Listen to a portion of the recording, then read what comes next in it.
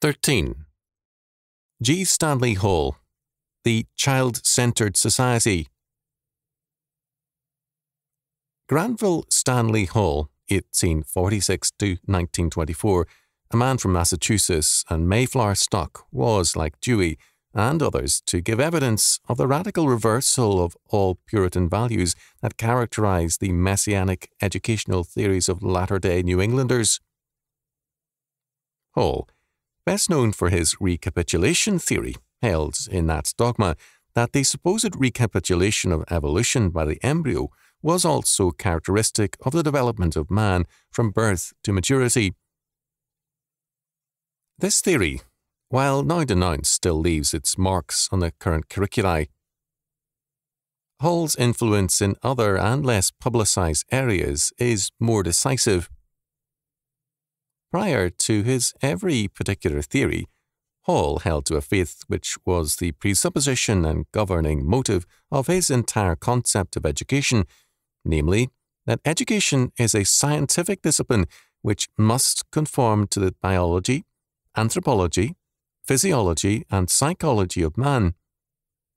Moreover, since the governing fact in these various sciences and the life of man is the concept of evolution, this concept must be basic to any valid approach to education. Thus, tests and measurements, psychological studies, biological factors and conditions rather than abstract religious or moral principles must be the basic approach in education. Two important approaches to this ideal means of education were for Hall the questionnaire method and the recapitulation theory, both now discarded, as are the German psychologists he valued so highly. But the emphasis on this scientific approach has been deepened and broadened. His students alone, however they later differed from him, were in many instances a major factor in developing a scientific and psychological approach to education. They included John Dewey, J. McKeen Cattell, W. H. Burnham, M. W. Swift, Phyllis Blanchard, Florence Mateer, M. H. Small, Howard Odum, E. S. Conklin, E. W. Bohannon, Edward Conradi, H. D. Sheldon, E. B. Huey, G. Partridge, L. M. Terman, J. H. Leuba, E. D. Starbuck, H. H. Goddard, and many others. The Gilbreths Pioneers in industrial psychology, a field of interest to Hall, studied under him also. At Johns Hopkins, Woodrow Wilson took minors with Hall. Hall was also the head of a notable attempt, Clark University, to establish a purely graduate institution of higher learning, the project ultimately failing because of Clark's failure to support it adequately. A brief survey of some central aspects of Hall's thinking will serve to indicate the nature of his influence. First and foremost in Hall's philosophy of education was the doctrine of evolution, with its then current belief in recapitulation. Hall by no means originated this theory, but merely popularized its educational usage. According to Hall, the child repeats the race. This is a great biological law. Accordingly, Hall insisted that intellectual demands on the child were unwarranted and kindergarten should be continued to the age of eight. In youth, rationality comes to the fore, and a highly intellectual discipline of study is then necessary. Prior to that, learning is by play. Much of the radical imbalance between grade schools and academically oriented high schools is due to Hall's recapitulation theory, with its belief that the child is also a primitive man with limited intellectual abilities. For Hall, the line of separation between animals and man was a false one. In his ideal society, Atlantis, the unity of man and animals is affirmed Animals are our elder brothers and are far better adapted to their conditions than man has yet learned to be. They have taught him many arts, and the lives of many of them are full of morals for man, as the animal epos here, which was very highly developed, abundantly shows. Many species are our direct ancestors and all our cousins. Man needs their strength, keenness of sense, power of flight, as well as their hides and flesh. Each ascending order was once a lord of creation, till at last man became their leader. Medicine and hygiene were largely the products of experiments upon them. Even now, all their wisdom and industry combined could perhaps surpass that of man.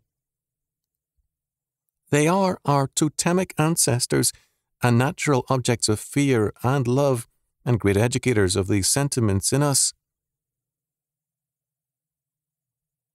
Such an attitude is not surprising, although Hall's romanticism made him more ready to follow its implications than most.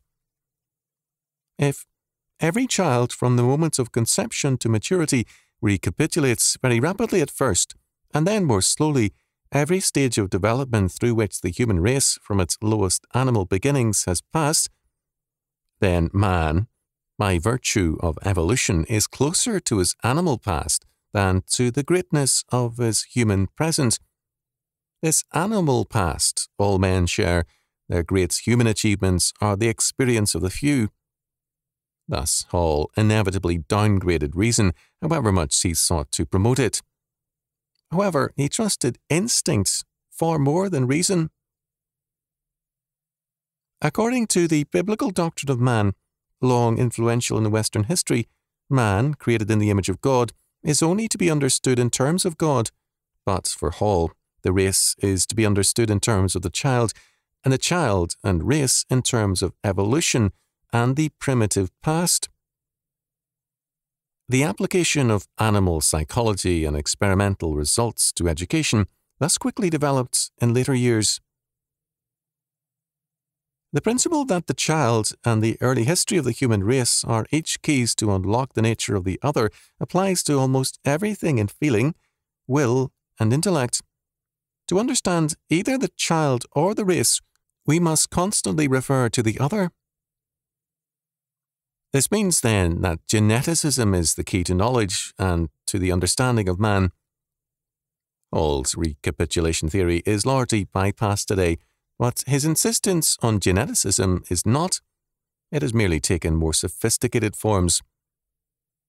Hall, with some reservations, welcomed psychoanalysis and the work of Jung and Freud because, like evolution, it was a form of geneticism the basic law being no longer recognized as God's, but nature's, and evolution being that law, geneticism in one form or another is an influential factor in educational premises. Second, as a result of this new law, the study of the child became central to educators, and child study continues to be emphasized. In 1893, Hall insisted the school of the future must be based on original child nature, a logical conclusion in view of his premises. Accordingly, innumerable studies of children's thinking, activities, and interests, as witness Hall's own, the story of a sand pile, were made and regarded as new wisdom. The concept of play as education, by no means original with Hall, received new focus and added impetus when set in the context of his evolutionary faith. Play thus became a central teaching device, as did dancing, pantomime, and like activities. For some time, therefore, the school must teach through play, and then with youth apply discipline, remembering always the late arrival of intellectual skills and their artificiality as Partridge, with Hall's approval, summarized it. Both reading and writing are usually taught too early. For countless centuries in the race, language was all oral, and it should be so for the child during a longer period than is customary. Reading and writing as processes are artificial and uneducational in themselves.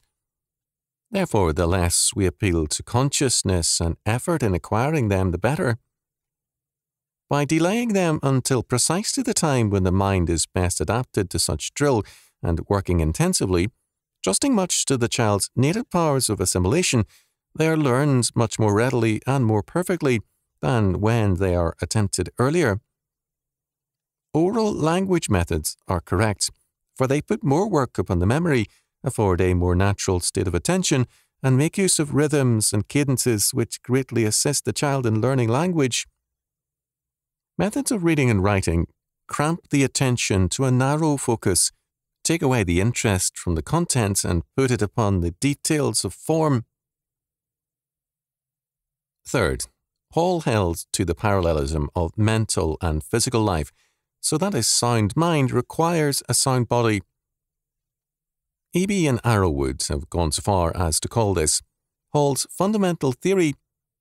Hall here revealed an insistent consistency of theory. If the supernatural be denied and the unity of mind and body be affirmed, then the sickness of the one must be the sickness of the other. Accordingly, then, as Hall held music to be understood must be danced. I believe it is not going too far to urge that no music of any kind is or can be fully comprehended without motor accompaniments. As a result of this concept, projects, activities, folk dancing, and other motor activities became the means of learning, and books were relegated to a subordinate or coordinate position. Dewey used this same concept extensively without bothering to reaffirm or argue it. As all pointed out, Dewey formally bypassed Hall's theory but actually operated on its basis. Fourth, the child's became the norm, both for education and for all of life. Love of nature and of children is the glory of manhood and womanhood, and the best of civilization. In his old age, with unquenched faith, Hall repeated his lifelong premise. Childhood is the paradise of the race from which adult life is a fall. Just as in the Renaissance man remembered again his golden age and a new light came into the world, so we live in an age of the Renaissance of child life, and all teachers who carefully answer a good questionnaire help on the dawning of a new day whether or not they have ever heard of pedagogy or phoebix. As Curti has observed, like Parker, Hall made a gospel of childhood. Childhood, as the norm, meant the subservience of all society to the service of the child, a goal largely accomplished in modern society by the educational apostles of this faith. There is really no clue by which we can thread our way through all the mazes of culture and the distractions of modern life, save by knowing the true nature and needs of childhood and adolescence. I urge, then, that civilizations, religions, all human institutions, and the schools are judged truly, or from the standpoint of the philosophy of history, by this one criterion, namely, whether they have offended against these little ones or have helped to bring childhood and adolescence to an even higher and completer maturity as generations pass by. Childhood is thus our pillar of clouds by day and fire by night. Hall knew his Bible well enough, as a one time divinity student at Union Theological Seminary, to recognize that this last reference was tantamount to saying, Childhood is thus our God. As a consequence of this faith, the God child could not be forced in his learning. His curiosity and interest must be aroused, and the child then gently led into learning. We must bear in mind that interest is the very Holy Ghost of education, and that so called formal studies and methods of discipline are only, for the most part, a delusion and a snare. They make degenerate mental tissue it is not culture to learn to speak or write well upon trivial or indefinite subjects, but rather to keep up with the great human interests, which will come to expression spontaneously if they are given a fair chance to do so. Spontaneity, permissiveness, and freedom to educate oneself through the elective system were thus cardinal emphases from this perspective. All could speak happily of the results of this educational approach and insistence on child study. Instead of the child being for the sake of the school, we have had a Copernican revolution, and now the school, including its buildings, all its matter and method revolve about the child, whose nature and needs supply the norm for everything. Hall had hoped that Clark University might gradually be changed to devote all its funds ultimately to the cult of the child. The child and his play became the sources of wisdom and must be studied and understood. Play, at its best, is only a school of ethics. To force a child into book learning is wrong when his natural activities provide the best means of education. It is by no means surprising, in view of all this, that Hall was hostile to the biblical doctrine of original sin and total depravity. How then to account for sin was a problem he refused to give much attention to, although, like all romantics, he was ready to ascribe it to environment, which environment included other persons. Thus, with regard to sex, wherein he followed the sickly romanticism of the Havelock Ellis type, the sinner was always sinned against by society and hence not culpable. As he described it in his ideal Atlantis, each party was made to realize that it was vastly easier to win than to hold affection, and since, as we have seen, failure to do the latter involved separation, the methods and spirit of courtship must be maintained through life, for there was no legal or religious bond to be relied on to perpetuate a loveless union, so that these were almost unknown or impossible in early Atlantis. If, as rarely happened, a husband fell a victim to inebriation, Gossip became curious about his home table and the attractiveness of his domestic circle. If he sought other women, Gossip suspected that the wife, who had every advantage of position, propinquity, safety, and seclusion, had not surrounded the most sacred part of the marital relation with all these subtle charms of allurement, of very gradual approach, and finally the full abandonment of which this relation is capable, and without which it is liable to lapse. For what married man, they said, could possibly forsake all this for a few wild hours of surreptitious orgy with purchasable favours? If a wife went astray, the husband was suspected to be at fault, for it was felt she was probably a victim of his neglect, overabsorption in outside affairs, failure to study and adjust to her nature and needs, or at least to her moods and fancies, or that he had become less, not more, a lover the reverse of which should be the case. With every year of domestic companionship, or perhaps he had been wanting in thoughtful protection, or had shown the imperfection of his true paternal feeling by relaxation of tenderness when it was most needed. That is to say, at the time when from being his mistress, his partner's life began to be transfigured by motherhood.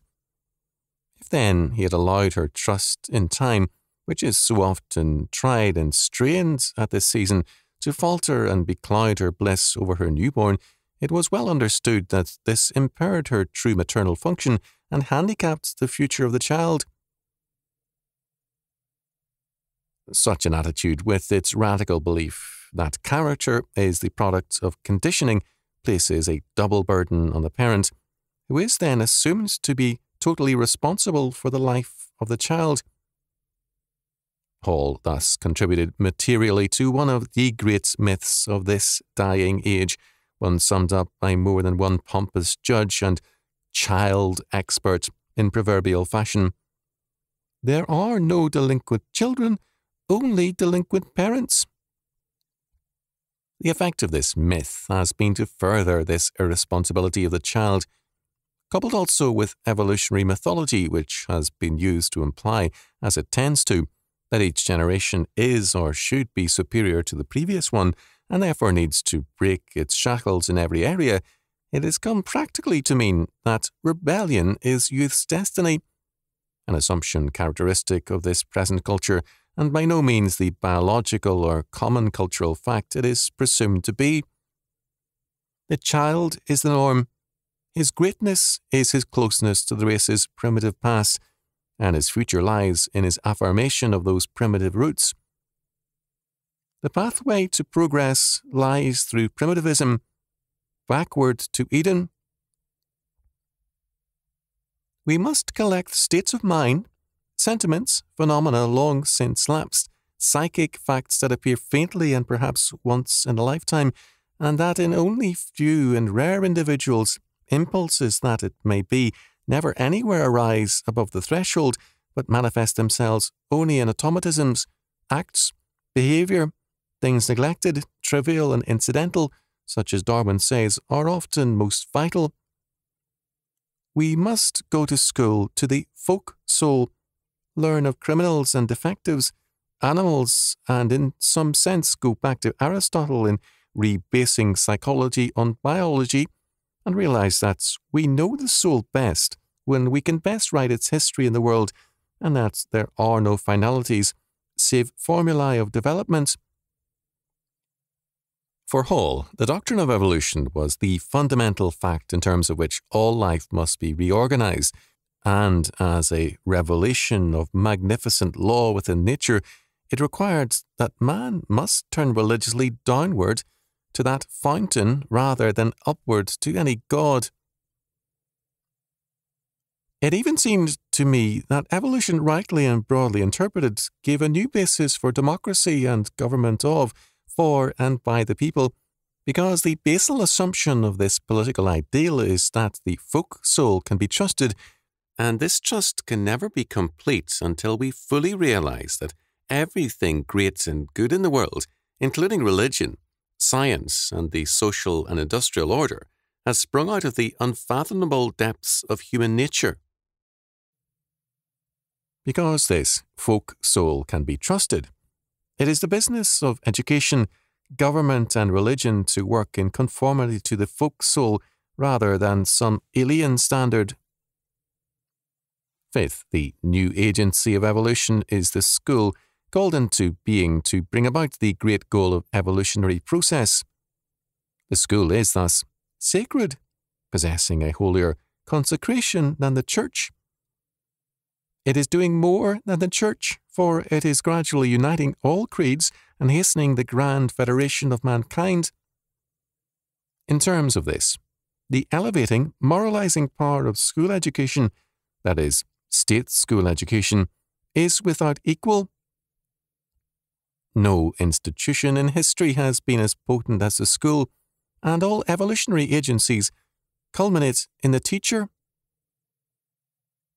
Evolution has taught the teacher that he or she is to be the chief agent in the march of progress, and if we are to have a higher type of citizenship, of manhood or of womanhood in the world, it is to be done by conscious agencies, and those agencies culminate in the teacher.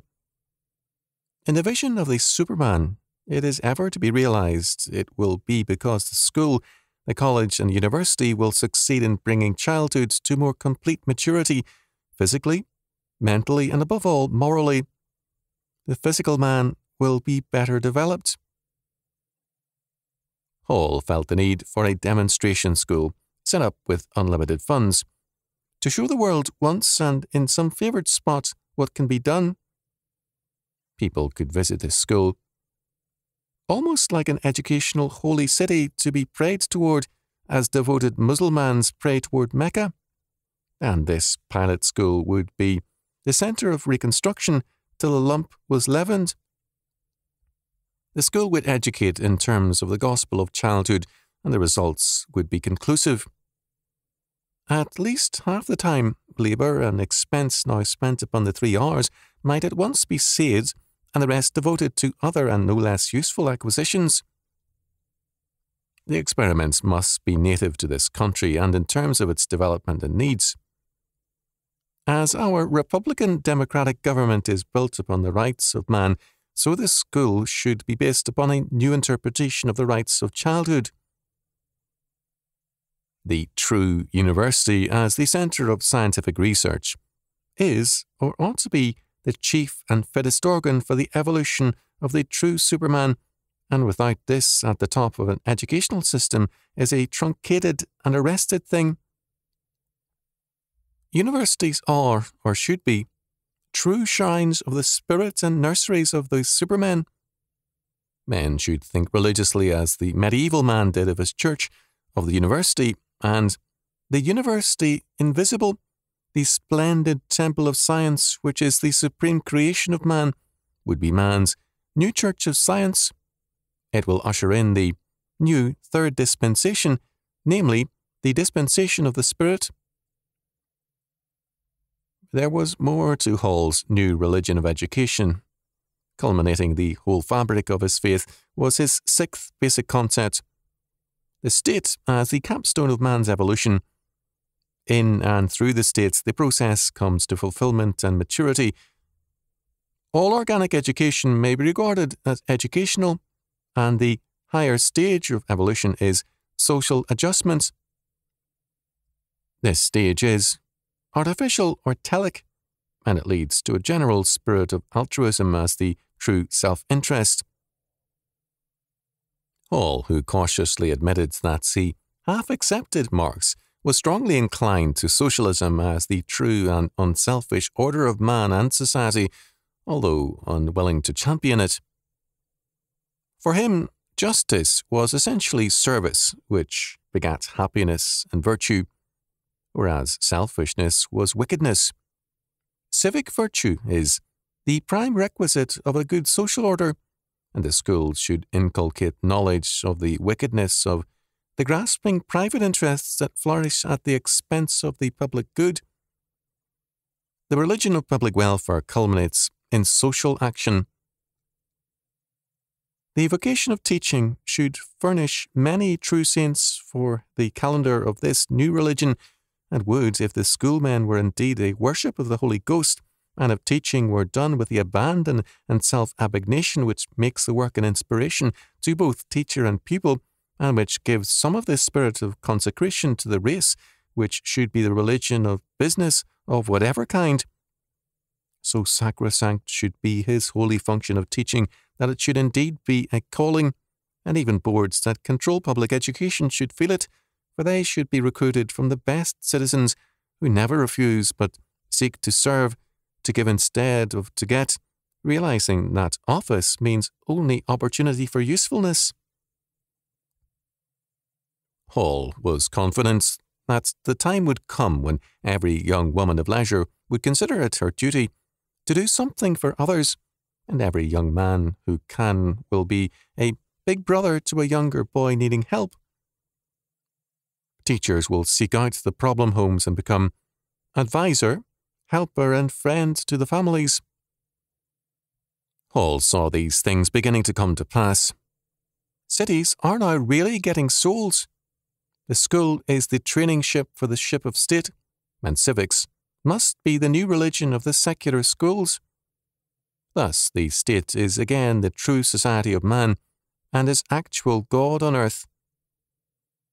There can be no transcendent factor or God. Indeed, if there be a God, we serve him best by serving mankind. Theology, he said, must be converted to anthropology if there be a God. Perhaps he would now prefer us to neglect or even deny his existence, if thereby we became more serviceable to our brethren. We can even say that perhaps God and his transcendentalities are dying again for the greater glory of man. All morality is doing good for others. Such an outlook is inevitable wherever a theocentric position is abandoned. If maturity is not the worship of God, then it is socialism and the service of man. For Hall, mature morality meant the abnegation of self for other men, and the best and surest means of this abnegation is statist action. However much Hall stressed the private means of service and conformed outwardly to laissez faire thinking, he saw the civic and state forms as ultimately the surest and best. His socialism, though suppressed as inadvisable for the times, was still real.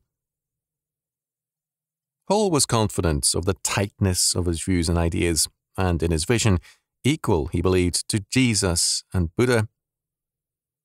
In the views I have attained of man, his place in nature, his origin and destiny, I believe I have become a riper product of the present stage of civilization than most of my contemporaries, have outgrown more superstitions, attained clearer insights, and have a deeper sense of peace with myself. I love, but perhaps still more pity mankind, groping and stumbling, often slipping backward along the upward path, which I believe I see just as clearly as Jesus or Buddha, the two great souls that ever walked this earth and whom I supremely revere. If my intellectual interests have been in the past and present, my heart lives in the future, and in this sense, I am younger than youth itself. Hall's vision of man's return to Eden involved also one further factor the glorification of woman in her purely procreative function. The woman is thus not primarily a person, helpmeet, or wife, but a mother. Sex also became of central importance to Hall as having a redemptive function. As a psychologist, penetrated with the growing sense of predominance of the heart over the mere intellect, I believe myself not alone in desiring to make a tender declaration of being more and more passionately in love with woman as I conceive she came from the hand of God. I keenly envy my Catholic friends their Mariolatry. Women, however, were deserving their femininity for mannish ways, but Hall was confident in the processes of evolution and their conformity to their true sphere. Meanwhile, if the eternally womanly seems somewhat less divine, we can turn with unabated breath to the eternally childlike, the best of which in each are so closely related. The oracles of infancy and childhood will never fail. The new education must be a true workshop of the Holy Ghost, and what the new psychology, when it rises to the heights of prophecy, foresees as the true paradise of restored intuitive human nature, such was the faith and doctrine of G. Stanley Hall, philosopher, psychologist, and educator. A zealous champion of salvation by means of a particular concept of education, and prophet of the cult of the child